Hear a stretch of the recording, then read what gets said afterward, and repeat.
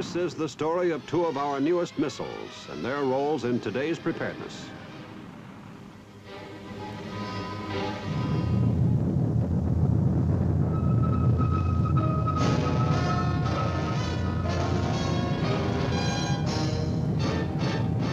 The United States Army presents The Big Picture. An official report produced for the armed forces and the American people.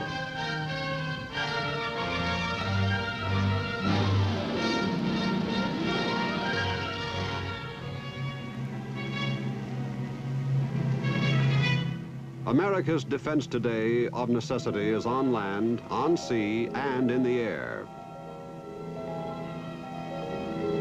But its greatest threat will be from space. The intercontinental ballistic missile traveling above the atmosphere at speeds of almost five miles per second, destined for a target within our borders. The danger will be great, but we need not be helpless against it. An anti-ICBM missile is being developed to intercept and destroy it, far from its intended target. For this missile, the United States Army looks to its Nike Zeus.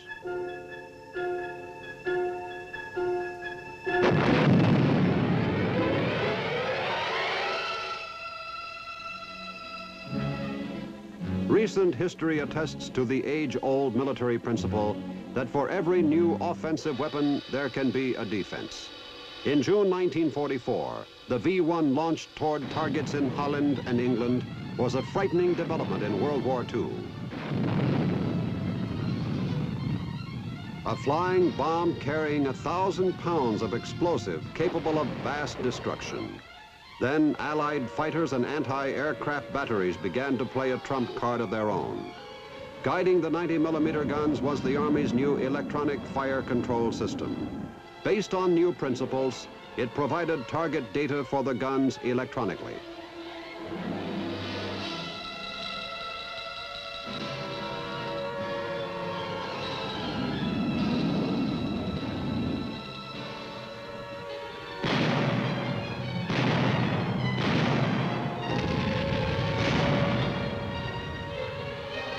With experience, the score of hits began to rise. This very weapon system was based on principles that in our time has led to the development of America's first anti-aircraft guided missile, the Nike Ajax. Nike Ajax first for defense against conventional types of aircraft.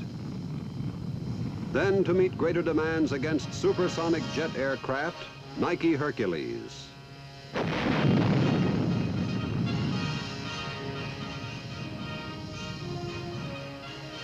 And now, in the space age, a potential answer to the threat of the ICBM, Nike Zeus.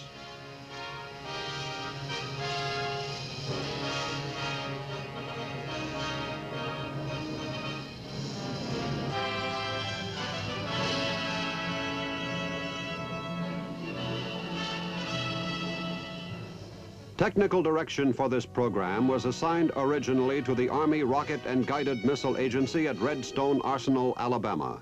To execute the basic system concept in this program, the Army turned to the scientific resources of American industry.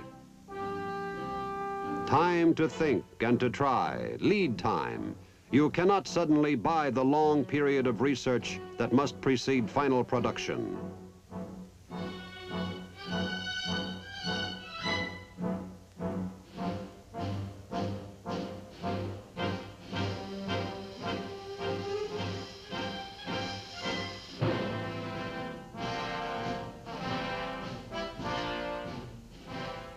Nike Zeus is evolving out of our experience over the past 15 years. Its story began in 1945 when Army Ordnance and Industry combined to explore the possibilities of an anti-aircraft defense weapon capable of attacking high-speed, highly maneuverable bombers.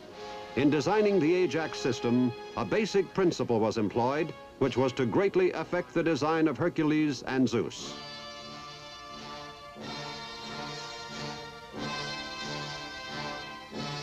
all three missile systems have their electronic brains on the ground rather than in the missiles. After a missile is fired, the extensive machinery of guidance remains intact.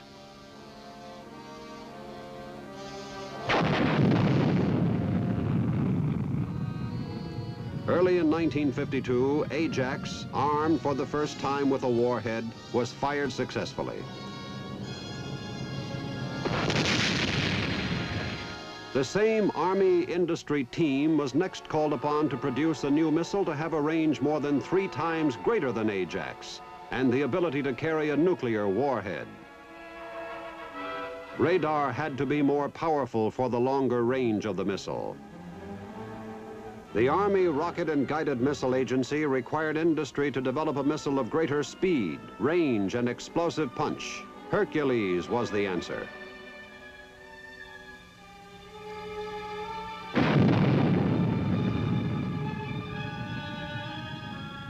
A system which has intercepted targets traveling faster than 2,000 miles an hour. And balloon targets at extreme altitudes.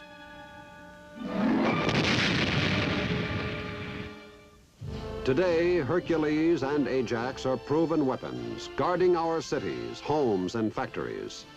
America's steady growth of experience acquired in producing these missiles has been essential in preparing us for a new challenge, an anti-missile system for the space age. Here is the concept of Nike Zeus.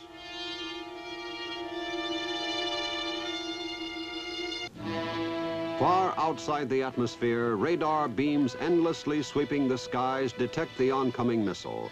Information flashes to a defense center and then to a precision radar assigned to track the target.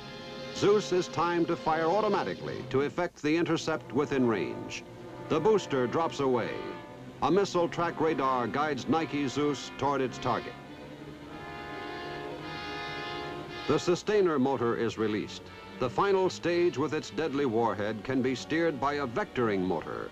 When Zeus reaches the target, it will be detonated far enough away from the defended area to save it from damage. Early in the development program, many agencies concerned with training, logistics, development, and production were brought together, bringing to bear years of experience, assuring that the Nike Zeus program would remain on schedule.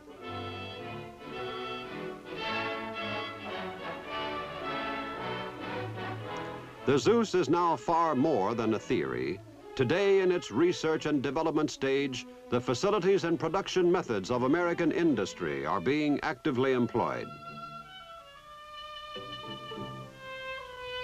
In the North Carolina plants of a large corporation, intricate computers and many other electronic system elements are being fabricated.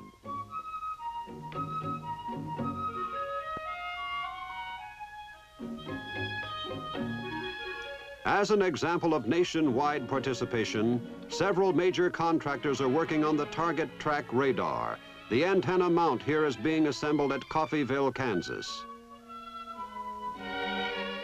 Some large elements by a company in Milwaukee. A company in Detroit is producing the hydraulic drive, and a concern in La Mesa, California is fabricating the reflector assemblies.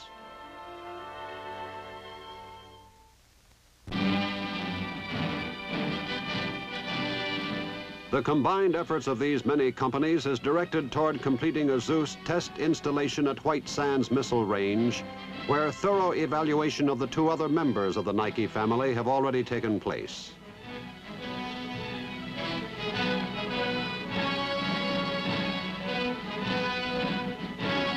The site is being constructed by the Corps of Engineers.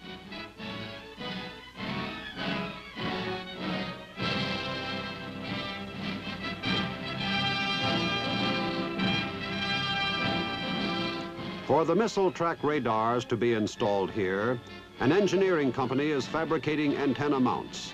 A major aircraft company has developed and constructed the acquisition radar antennas for the transmitter as well as the receiver. This transmitter generates the high-powered pulses which are reflected by objects in space to the receiving antenna.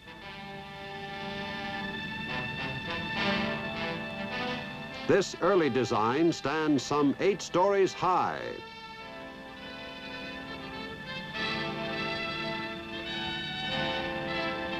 For the target track radar, this high-powered transmitter has been developed.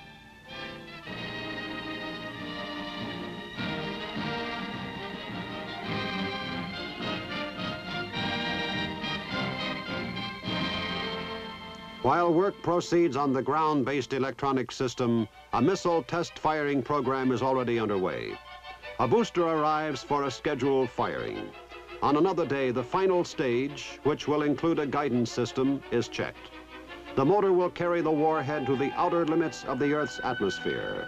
This booster generates almost a half million pounds of thrust.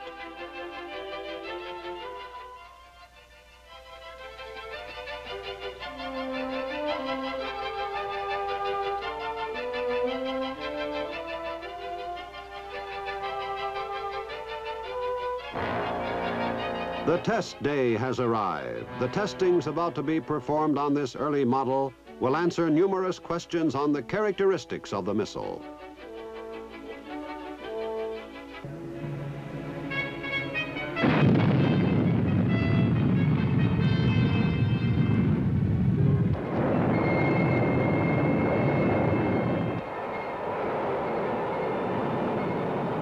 Questions such as, will the missile withstand the intense heat generated?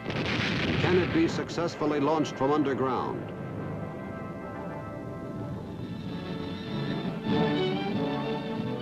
At Kwajalein Atoll in the Central Pacific, construction for a complete Zeus test system is well underway. This system will be tested against Atlas ICBMs fired from Vandenberg Air Force Base in California.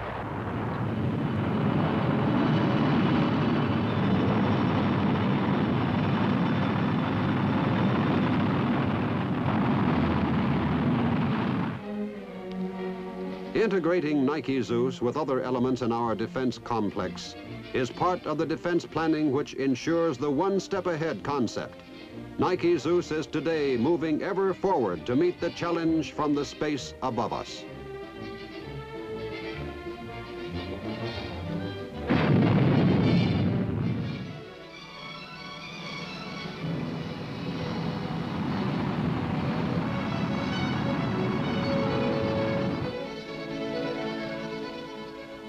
This is Pershing.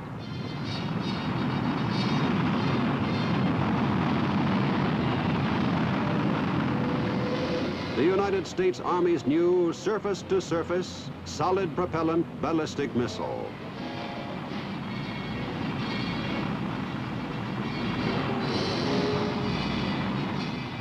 An Army industry team began developing Pershing in March 1958.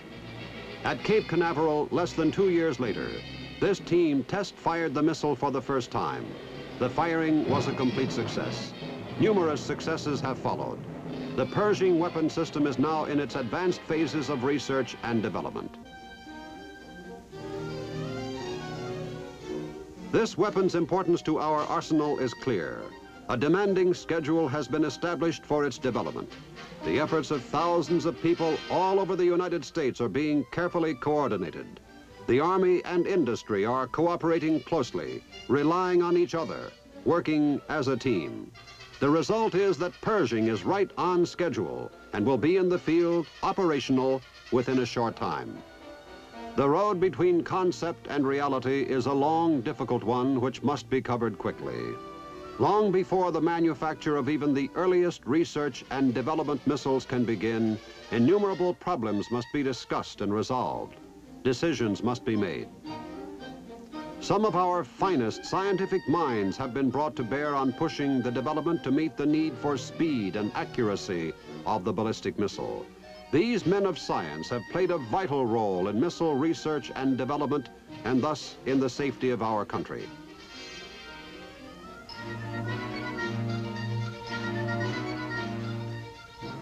The weapon system exists first in terms of mathematics. Each mathematical aspect of the system must be figured precisely to the utmost degree of perfection.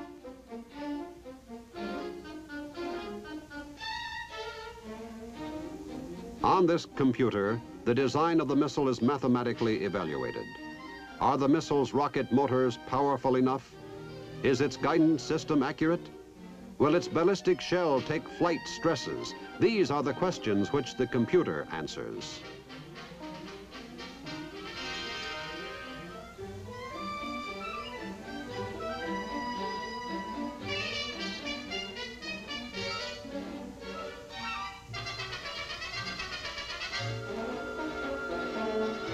Once designs are proved out, manufacture begins, often under the most demanding of conditions.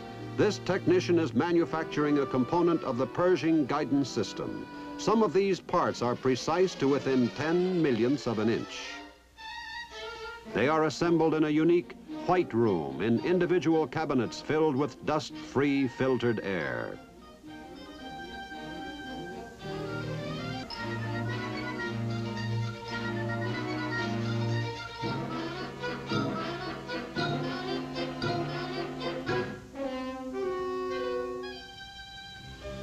Here, Pershing's two rocket motors are about to be tested in a captive firing. They will be fired just as if they were in flight.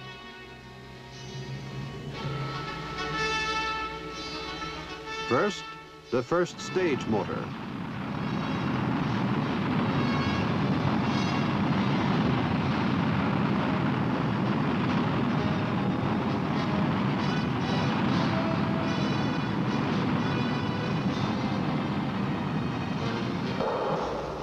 When the first stage burns out, the missile would coast in unpowered flight for a few seconds, then the second stage ignites, and the first stage drops away.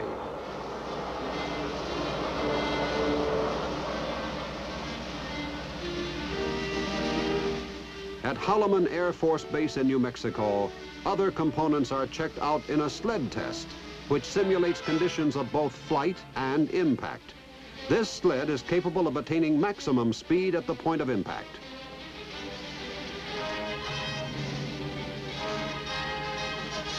As in every test, the missile components are checked carefully. This performance on the ground will give a good indication of the missile's potential in the air.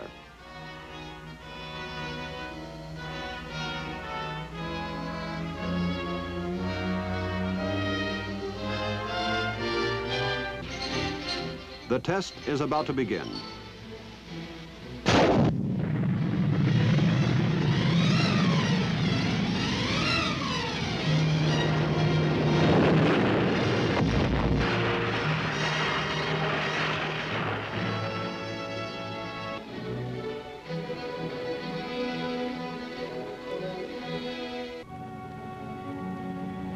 No matter how large or how small a test, the objectives are always the same, to make certain that the weapon system is as rugged, dependable, and mobile as possible. The Pershing missile and its support equipment are being developed and tested simultaneously. These vibration tests will ascertain whether or not the missile will be able to withstand the extreme stresses of actual aerial flight.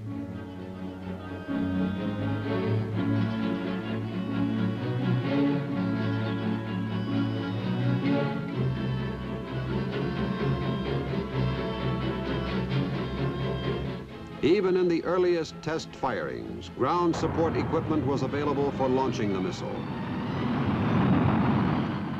This equipment takes the place of much of the special test gear required in other missile programs. Hundreds of thousands of dollars are saved. Developing the components simultaneously results in a program which is not impeded by equipment delays.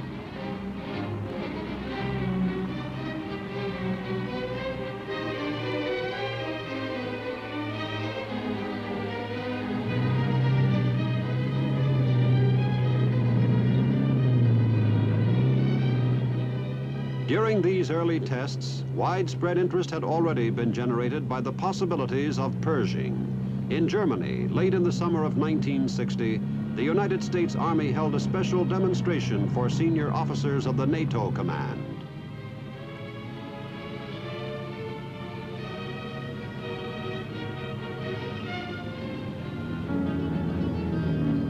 In this demonstration, the Army displayed the maneuverability of the missile carrier the entire weapon system, including the missile and its communications and checkout equipment, is transported on four identical tracked vehicles.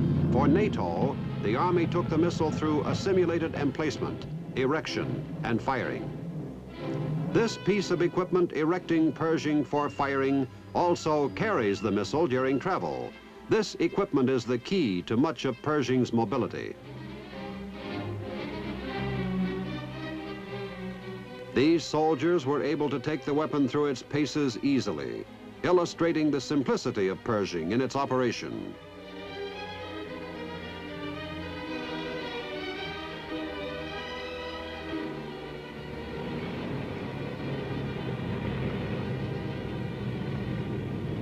In tactical situations, the missile will be transported on two of the four tracked vehicles. The warhead and guidance unit carried on one, the rocket body and its motors on the other.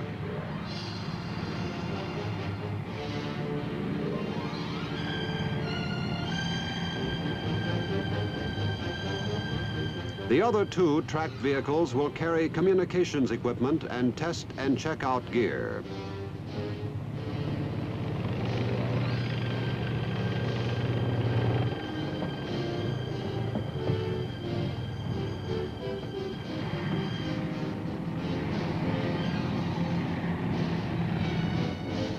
The larger box-like affair on this vehicle is the compact communications hut used for sending and receiving messages under all conditions.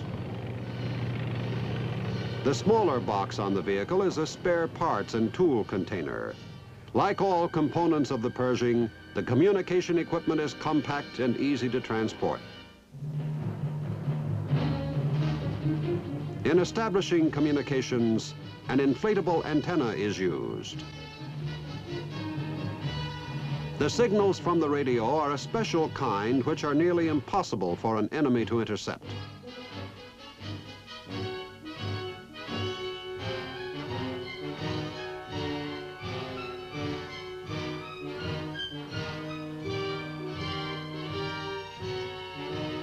But the mobility of this weapon system is not measured merely in terms of compactness.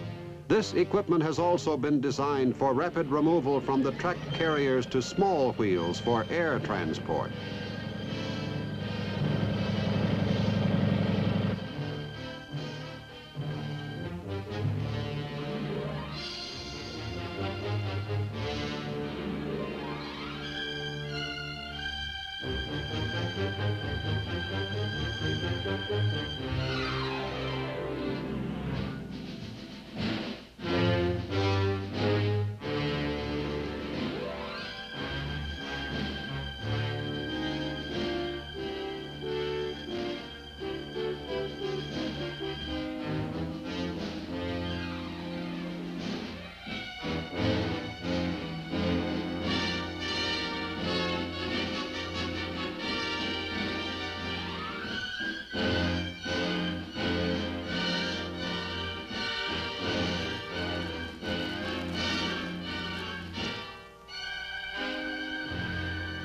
The outcome of a battle could be decided by how fast an army can get its equipment into action. Pershing can be transported either by cargo airplane or by helicopter.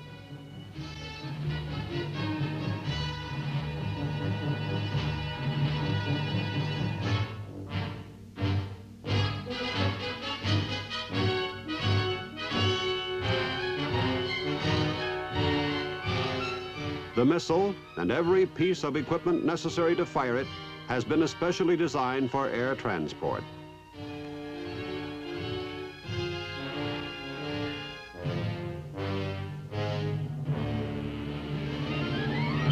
Mobility has been a prime objective in Pershing's development, and yet mobility is of little value unless the weapon is reliable.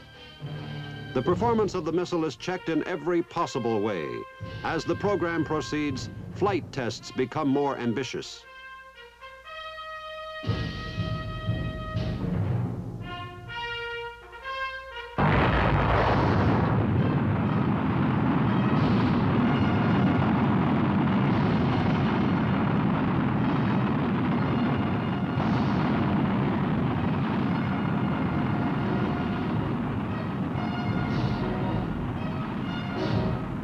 Not all of them are successful, but from the failures, lessons are learned.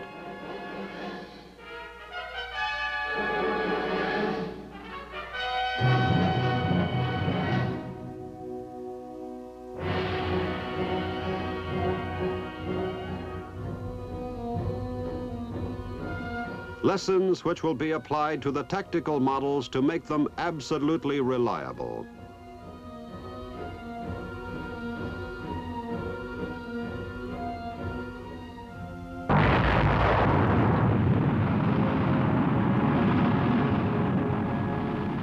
This weapon is a major step forward.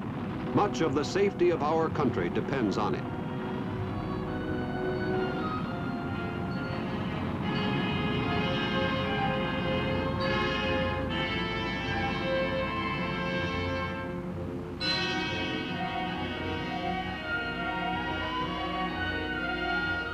The Pershing was designed to be a reliable weapon.